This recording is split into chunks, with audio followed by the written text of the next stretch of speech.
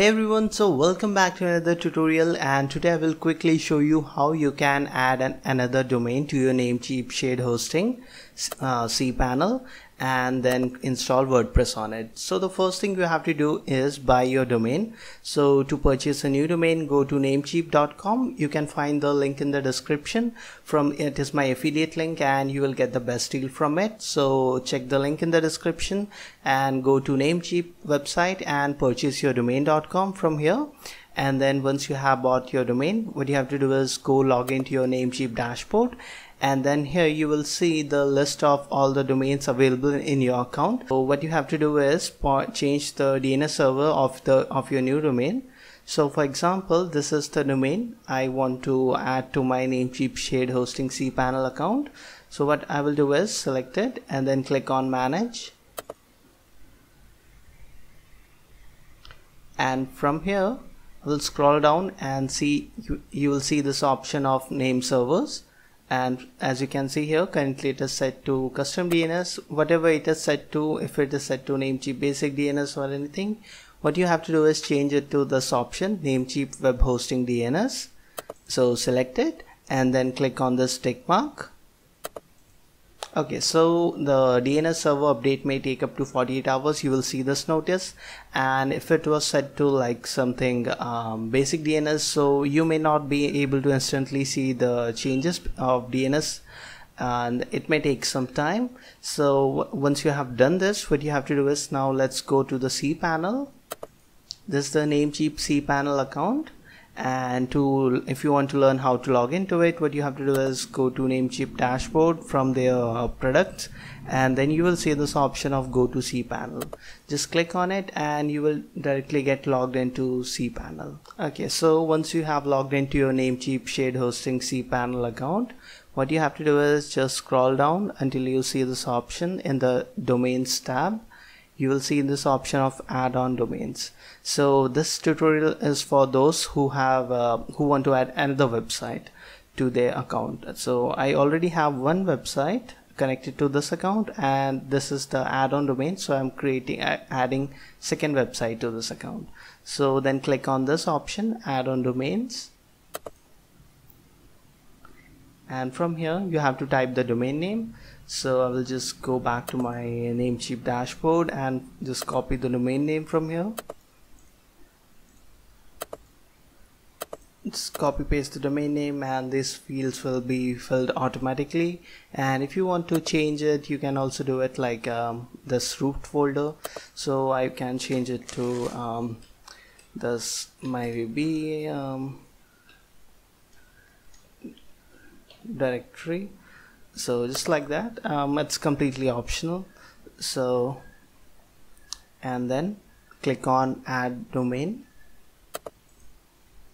okay so once the process is complete it may take some seconds a uh, few seconds to complete. So you will see this message. The add-on domain mybbsecurity.net has been created. And if you would like to manage this the link to file manager and you can also enable https with free one year positive ssl installation is in progress for so let's check um, if the free http uh, ssl certificate has been installed let's click this link. Because uh, SSL is very has become very important and it is very important for SEO and your for to make sure that all the data between your server and your visitors system uh, remains encrypted and your visitors can trust your website. So SSL is really important and I have already created other video about how to get permanent free SSL certificate. So once if your certificate is expired or for some reason you do not have an SSL certificate you can watch my other video to uh, to learn how to get free SSL certificate.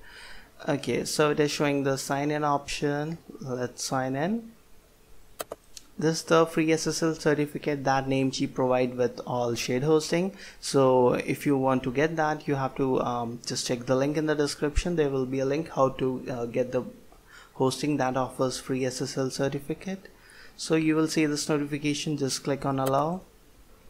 Okay so you now once you allow it you will see this message see the screen install via Namecheap SSL so you can see the clearly here that their Namecheap offer one year free positive SSL certificate for uh, you can install free SSL and we install SSL for mybbsecurity.net and let's check if it is working. Okay currently it is showing some uh, error. We will fix that later so once the DNS propagation is completed that error will be gone and we will see the uh, our WordPress website on it. So as you can see here it is showing here this um, status active and HTTP is redirect on. So now let's the so installing SSL certificate is complete. So now let's install our WordPress. Go click on home and then scroll down and you will see this option so in Softaculous apps installer tab WordPress. Just click on it.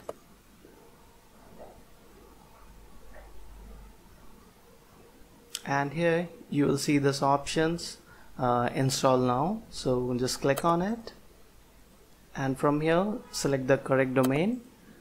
Uh, select this and because we have already installed the SSL certificate so I will select HTTPS and from here if you want to change that like your blog site name and site description so you can change that. For tutorial purpose I'm not going to do that. Um, I will change this admin email right now to um, to my personal Gmail address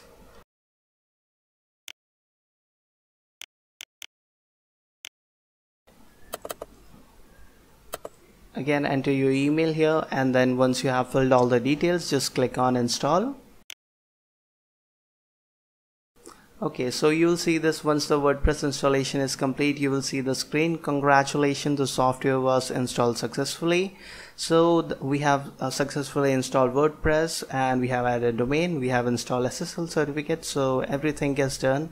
Now let's try to see if we can access this website right now because um, uh, okay so uh, you can see here it is sh still showing this error it is because the DNS propagation is not completed. But but once it gets completed um, you will able to see the WordPress website. So for once again let's try it using a different browser.